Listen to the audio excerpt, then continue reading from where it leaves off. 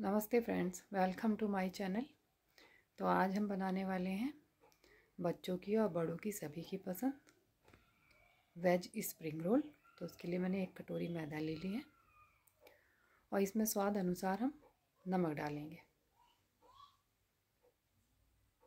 और एक चम्मच के करीब हम इसमें तेल डालेंगे।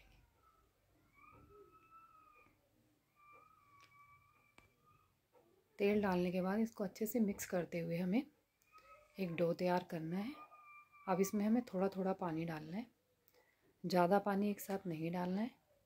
नहीं तो हमारी ये गिली हो सकती है मैदा और हमारा डो ख़राब हो सकता है। हमें डो को ना बहुत ज़्यादा टाइट रखना है, ना बहुत ज़्यादा सॉफ्ट रखना है। अब तेल लगाते हुए इसे अच्छे से मसलते हुए इसे चिकना करना है। मैदा हाथों में चिपकती है, इसलिए मैंने थोड़ा इसमें ऑयल डाला है। अब बस ऐसे मलते हुए इसको चिकना करना है।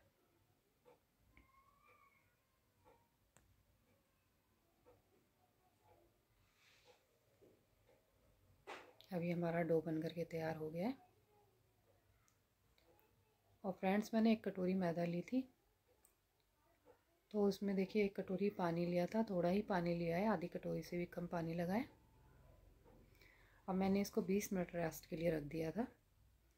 अब इसको हम दोबारा से चिकना करेंगे, बिल्कुल एकदम मसल मसल के इसको चिकना कर लेंगे। और इसको दो पार्ट में डिवाइड करेंगे और इसकी छोटी छोटी हमें लोइयाँ बना लेनी है। इस तरीके से लोइयाँ तोड़ लेंगे सभी।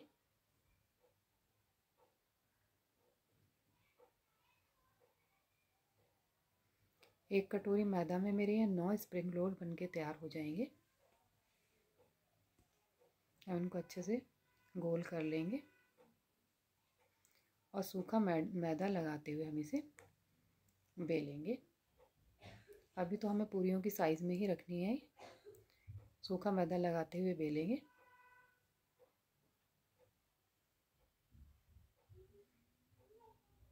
बस ज़्यादा बड़ा साइज़ नहीं करना है, बस इतना ही रखेंगे। अब देखिए, तीन पूरी हमारी तैयार हो चुकी हैं। अब इसके ऊपर हम ऑयल लगाएँगे, एक पूरी लेंगे, उसके ऊपर ऑयल लगा लेंगे और सूखा मैदा डालेंगे।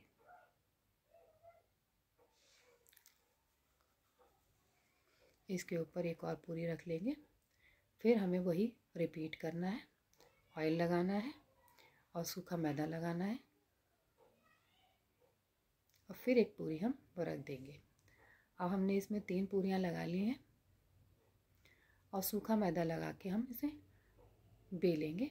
जितना पतला कर सके आप, उतना ही बेलिए। इस तरीके से। साइड ही दबा दबा के बेलिएगा। देखिए, अब हमारा परफेक्ट साइज़ हो गया है। बस, अब हम तवा गरम करेंगे।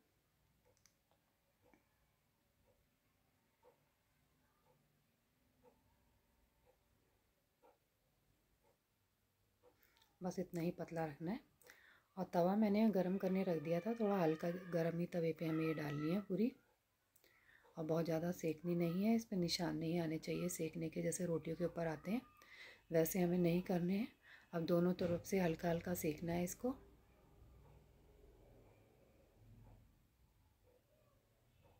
अब ये सिक करके तैयार हो गई हैं। और इजीली जहाँ से भी खुलेगा, वहीं से हमें धीरे धीरे खोल लेना है। ये देखिए, हमारी एक साथ तीन शीट बन करके तैयार हो जाएँगी एक बार में। देखिए, कितनी पतली शीट बन करके तैयार हुई है। ये देखिए।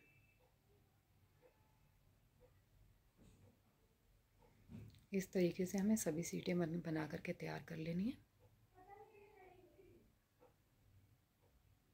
देखिए, कितनी ट्रांसपेरेंट शीट है। आपकी शीट जितनी अच्छी बनेगी, उतने ही अच्छे आपके स्प्रिंग रोल बनेंगे। अब स्टफिंग तैयार कर लेते हैं, उसके लिए मैंने कढ़ाई रख दी है। उसमें ऑयल डाला है। एक इंच के करीब अदरक डाला है कस करके और दो हरी मिर्च डाली है। इनको अच्छे से भूनेंगे।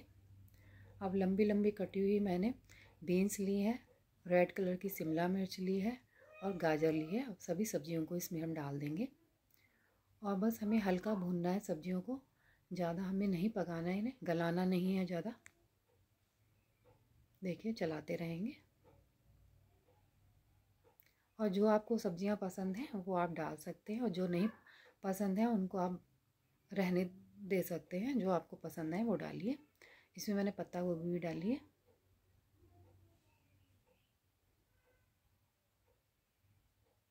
देखिए, और चलाते रहेंगे।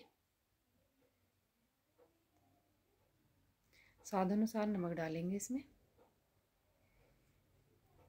आधी चम्मच लाल मिर्च डालेंगे। एक चम्मच काली मिर्च डालेंगे। काली मिर्च पाउडर डाला है मैंने। ये। और ज़्यादा मसाले हमें इसमें नहीं डालने हैं। और आधी चम्मच के करीब सोया सॉस डालेंगे इसमें। और आधी चम्मच के करीब वेनेगर डालेंगे। ये। और एक चम्मच के करीब मैंने टमाटर सॉस डाला है। इसको अच्छे से चलाएँगे और गैस हम बंद कर देंगे। और हमारी स्टफिंग बन करके तैयार हो गई है देखिए फ्रेंड्स, स्टफिंग हमारी बहुत ज़्यादा हमने गलाई नहीं है। बिल्कुल खड़ी खड़ी सब्ज़ियाँ हैं। स्प्रिंग रोल के लिए इस तरीके की ही स्टफिंग तैयार की जाती है। अब एक कटोरी में हमने मैदा ले लिया है, उसमें थोड़ा पानी मिला लिया है। आप समझ लीजिए हमें इसे ले बनाना है। जैसे पुराने ज़माने में बहुत हमारी दादी नानी के समय में, जैसे मम्मी कॉपियाँ चिपकाती थी ना, बाइंडिंग करने के लिए आटे की लेही बनाती थी, बस उसी तरीके से हमने मैदा की लेही बनाई है, अपनी स्टफिंग को तैयार डालेंगे और लेही लगा करके इसको अच्छे से बाइंड करेंगे। स्टफिंग को हमें एक ही साइड पे डालना है और इस तरीके से पकड़ते हुए हमें फोल्ड करना है। और इसमें हमने जो लेही तैयार किया मैदा की, वो लगाएँगे। ताकि ताकि हमारी जो इस रोल हैं, वो खुले नहीं, अच्छे से ही रहें, कोई दिक्कत, प्रॉब्लम ना हो। इस तरीके से सभी रोल बना करके हम तैयार कर लेंगे।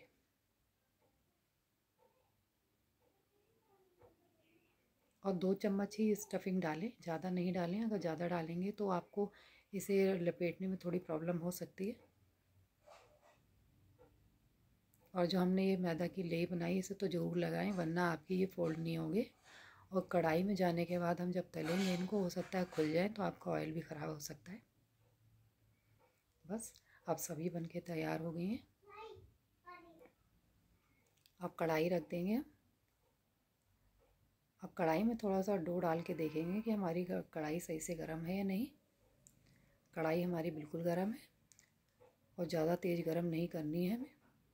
ज़्यादा गर्म करते हैं तो इसमें बहुत ज़्यादा झाग होते हैं। और कम गर्म कढ़ाई में ही हमें रोल डालने हैं अपने और धीरे धीरे तलना है। और बीच में एकदम चम्मच, करछी जो भी आप इस्तेमाल कर रहे हैं, वो नहीं लगानी है। जब एक से, एक दो मिनट हो जाए, तभी इसको हम पलटेंगे। और ज़्यादा से ज़्यादा आपको पकाने में, एक बैच को पकाने में पाँच ही मिनट लगने वाले हैं, ज़्यादा नहीं लगेंगे। अब मेरे सभी स्प्रिंग रोल बन करके तैयार हैं। अब मैं इन्हें आपको कट करके दिखाती हूँ। ये देखिए कितने सुंदर लग रहे हैं कलरफुल एकदम से।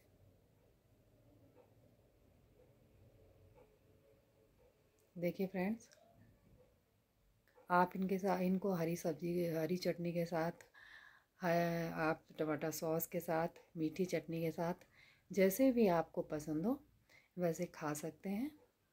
और बहुत ही बढ़िया लगते हैं और बहुत टेस्टी बन के तैयार हुए हैं।